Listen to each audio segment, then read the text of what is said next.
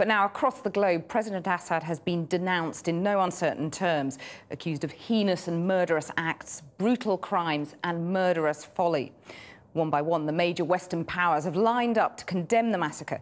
And in a coordinated move, all remaining Syrian ambassadors and most diplomats have been expelled by the UK, the United States, Canada, Australia, France, Germany, Italy, and Spain.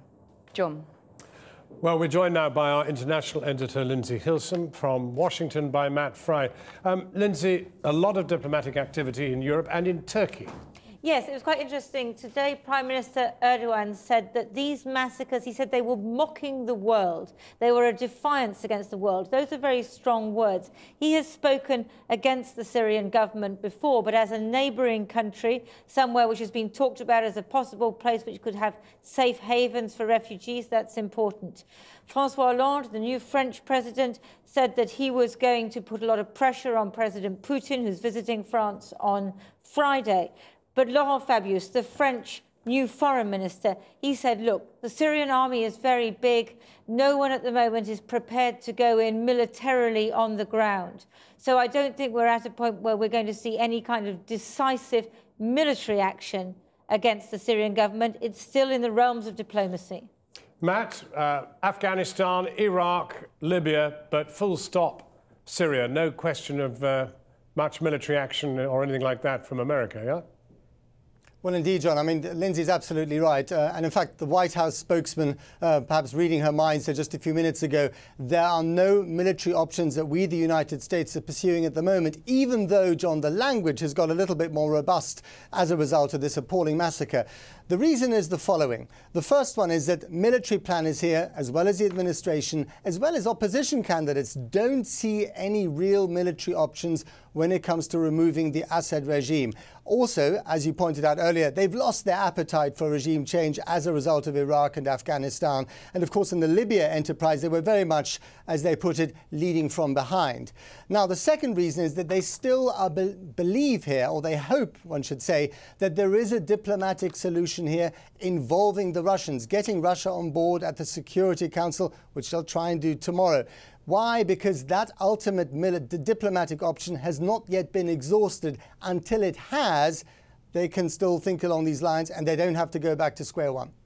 Well, Lindsey, what, what, what can be done about Russia? Well, I think what the Russians are looking at, I gather, is what they're calling the Yemen option, which is the idea, as, as you had in Yemen, you had President Saleh who stepped aside in favor of his deputy. So you, you had regime change without having regime change. So that is the kind of option which I think that the Russians are thinking about. But Syria is much more complex than Yemen because of the sectarian issue and because of the family issue. It's really run by a family maf mafia. So Bashar al-Assad stepping aside, well, for whom? It's very hard to see who that could be.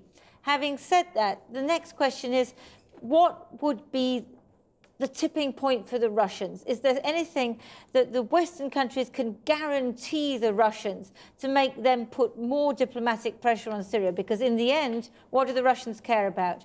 What they care about most is that they do not want contagion. They do not want a Moscow spring. Uh, Kofi Annan presents his uh, findings to the UN Security Council tomorrow. Matt, what are we expecting? Well, I mean, they're already meeting behind closed doors. There's an awful lot of arm twisting going on, presumably. But I don't see at the moment how they can get the Russians on board for something more robust than what they already have on the table. I think what you might see tomorrow is the kind of last gasp attempt to put a little bit of life back into the Kofi Annan plan, even though it has received its death certificate on the ground and elsewhere, just to see if that still works. Because after all, that was something that the Syrian government signed up to, that the Russians signed up to, the Chinese Chinese, the rest of the Security Council, this is something that they still believe in the back of their minds they might be able to work with. But the real problem here, Jon, is that unlike in Libya or perhaps even indeed, uh, indeed in Yemen or any of the other problems that they've had uh, in, in the recent years, they don't believe that there is a real alternative to the Assad regime. They believe that if they put in more arms, uh, they will just fuel what is effectively already a civil war. And no one wants that, even though it means that the Americans and others have to stand by and watch these appalling atrocities take place. Matt Frei in Washington, Lindsey Hilsum in London.